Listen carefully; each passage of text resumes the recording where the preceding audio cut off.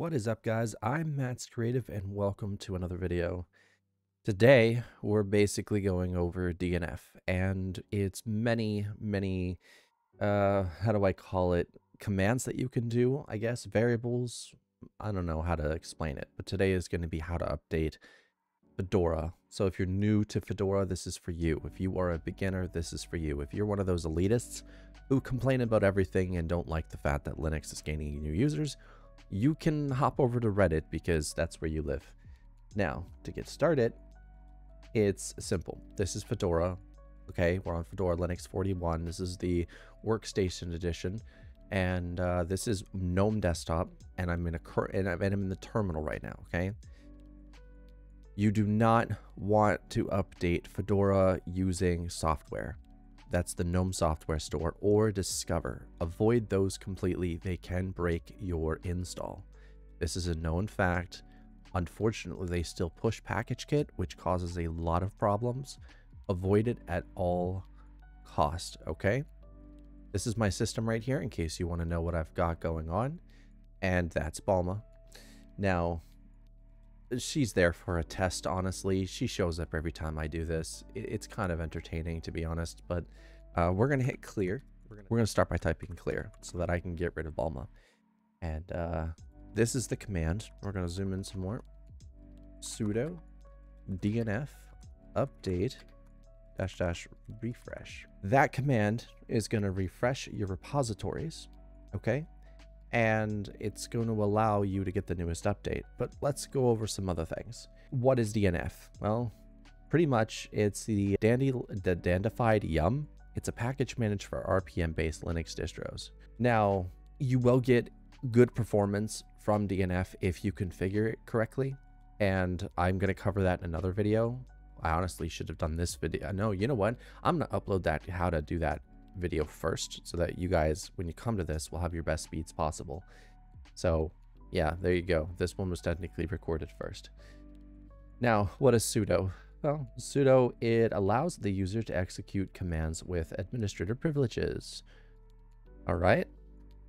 So again, uh, DNF summons the package manager update summons the ability to update, and adding refresh basically forces DNF to refresh the cache of repository metadata before performing the update. This allows you to get the newest packages and so on and so forth. Now I have unupdated Fedora 41 in a long time. We have 166 packages to go through that I know of, but there might be more. And even Microsoft Edge would not work because I haven't done this for so long.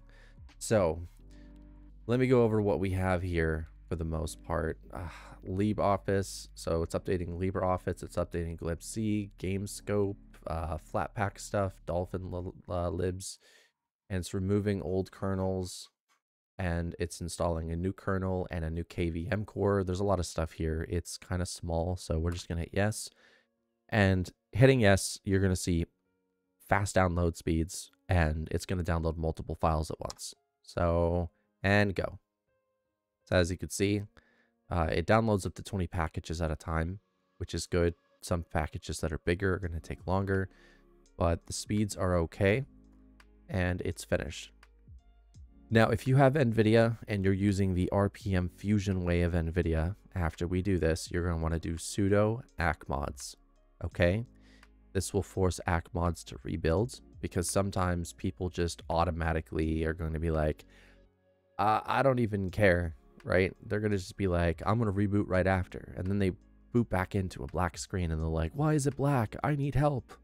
And then they get informed that they should have waited before, you know, restarting. Because it's very, very important to do a few steps before restarting anyway, no matter which graphics cards you have or what system you have. Because again, things can happen. And you don't want that. So now that that's done, what we're going to be doing is we're going to be typing sudo. This is for you NVIDIA guys only. Akmods. I don't have any Akmods. Uh, uh it's going to check for Kmods and stuff like that. Uh, we can also do Kmods. Again, Kmods aren't there, but it says Kmods are there, so I don't understand that one. We are going to do dracut dash f slash dash regenerate regenerate all. We're doing this so all the modules can be updated with the newest kernel in mind and the oldest kernel in mind. In case you have issues, you can boot into an older kernel like I had to do. All right, so that's going to finish any second now. So now that that's done, you guys can reboot and you should be able to boot right back in. This is a good path for learning how to maintenance your system. So just try to understand that. It's not here to deter you or to scare you back to Windows. Again, until a proper updating software is built for Fedora that actually does take things like this in mind, you have to do this and it's a good thing that you do your own system maintenance because trusting other programs can sometimes lead to issues or a broken system. Don't forget to subscribe to this channel if you haven't already. If you're new here, if you're looking for help, check out my Linux guides in the description below. It's a playlist. It will hold everything I've done so far, including Fedora guides, Arch guides, whatever. If you want to help support me on YouTube, you could do that by joining as a member, or you can go to Ko-Fi and join as a member there for, you know, if you really appreciate my work. And I will see you guys next time.